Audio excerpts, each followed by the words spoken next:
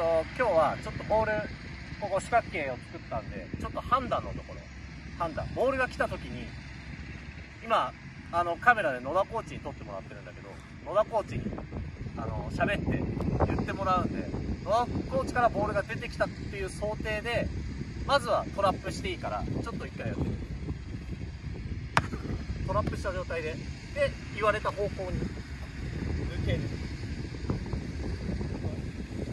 もう一回いくよボールが来た時にトラップで抜けてすぐ言われた方に野田コーチから言われた方に抜ける。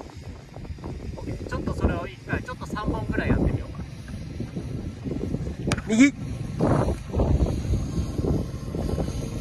こういう形でトラップしたらすぐすぐどっちかに言われた方向に行ける左。危な。危なかったよ。後ろ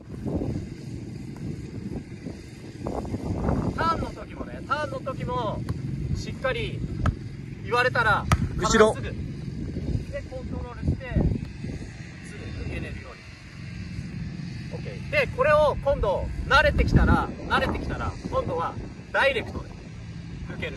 右。こういう形でね。ダイレクトでしっかり抜けれるように。左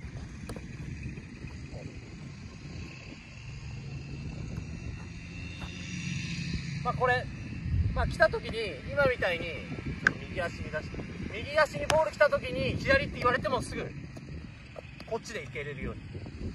ね本来は、本来は、本来は、すぐ左って言われたらこう、インサイドで抜けれることが、もしかしたらベストかもしれない。ただやっぱりどんなボールが来るかわからないね、サッカーの試合って言って。だから、どんなボールが来てもいいように、蹴れるように。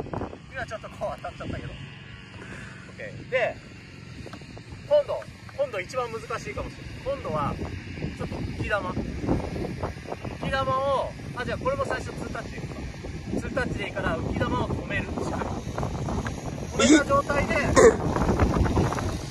ける。OK 最初は2タッチでいいから左。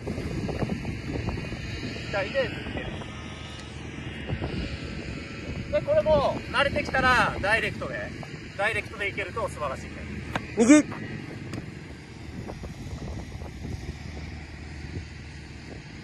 うラストいこうかラスト。言われた方向に。左。まあ今みたいにねちょっと最後コントロールでミスしちゃったけど今みたいに言われてすぐ。だから下をずっと向いてるとボールをボールが来た時下をずっと向いてるとやっぱり分かんない。しっかり野田野田コーチカメラの方をしっかり確認しながらボールが来た時に2タッチで行くのか。またまたダイレクトダイレクトで4方向で4方向行けれるようにはいトレーニングしてみて。